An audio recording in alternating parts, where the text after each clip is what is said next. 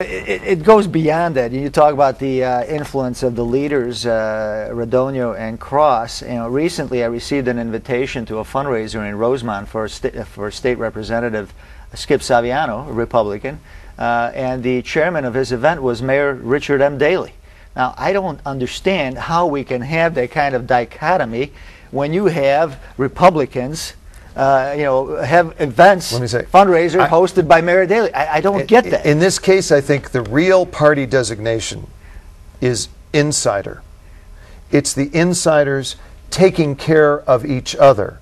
And when you cross that line to become an insider, the R by your name or the D by your name doesn't mean as much as the fact that you're running government for the benefit of yourself and other insiders.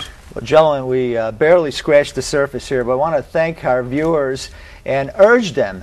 We only have 240 days roughly to February 2010 primary.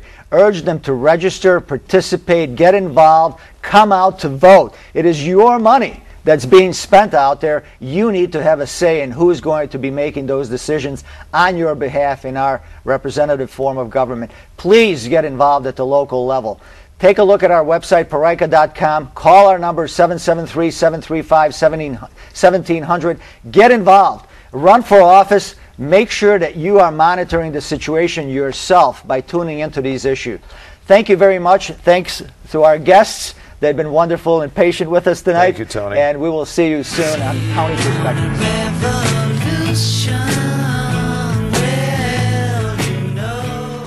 Now to recap our show, I want to tell you what happened today at the county board meeting, today being July 21st, 2009.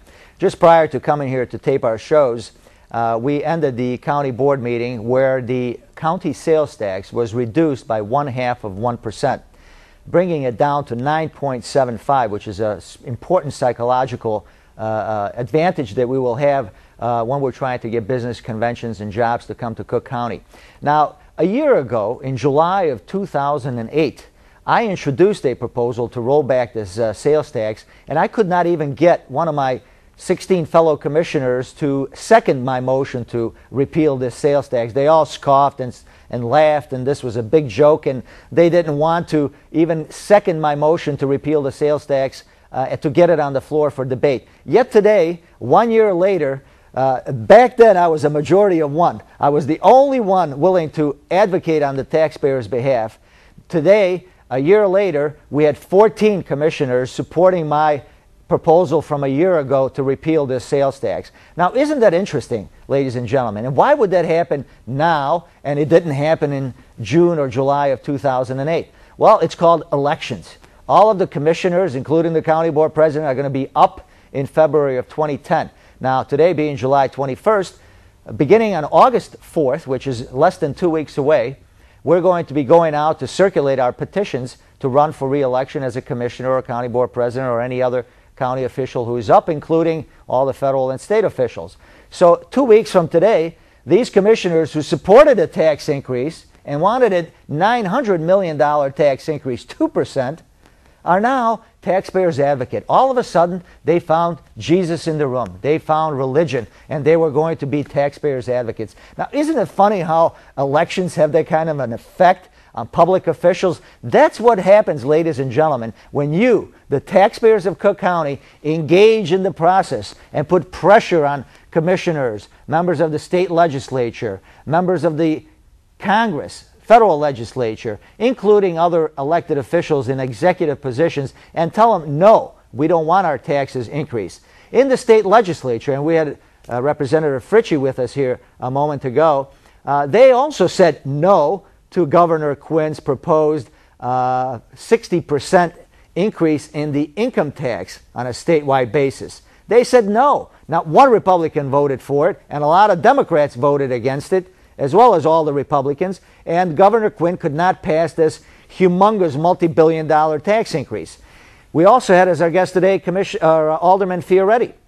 In the city council, they're saying no to Mayor Daley, who wants to give a unlimited $3.2 billion or higher guarantee to the uh, International Olympic Committee to bring the Olympics here in 2016. The aldermen are saying no. They have 11 aldermen now saying no to Mayor Daley. Hopefully they can get to 26 and uh, tell the alderman that he cannot spend our money any way he pleases. This is not his money, this is the taxpayer money. And aldermen, commissioners, member of the state and federal legislature all together pay attention to voters, particularly before election cycle is up. And that's now. Your voices are going to be magnified 10 times over if you call, tweet, email, fax, visit now your local and federal elected officials. We need you to get involved. Please go to our website, peraica.com, and take a look at the, at the information that we have for your uh, review. We have taken a lot of important positions on a lot of different subjects and topics, and we invite you to get educated and take a look at our website, peraica.com. If you have an opinion, a comment, a suggestion, you can email to me at peraicalaw at aol.com or you can call us at 773 735 1700.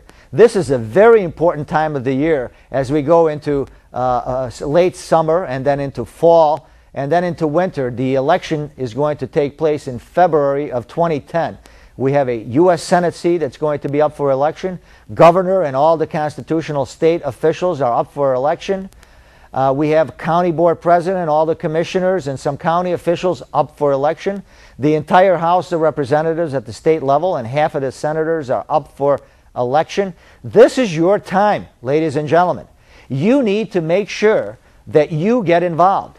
As Edmund Burke said some 230 years ago, all it takes for tyranny to triumph is for good men and women to remain silent. You cannot remain silent. You need to visit call, fax, tweet, email, do whatever is necessary to make sure that your elected representatives know how you feel. I stand for principles of smaller government, lower taxes, and the elimination of corruption. I trust that many of you do as well. Visit our website at peraica.com and visit us also on radio beginning September 6th on, on 560 AM WIND. Uh, we're going to be on every Sunday from 9 to 10 p.m. Please tune in, send us an email, uh, let us know what you want to have discussed, and please call us and, and weigh in with your opinions and your comments.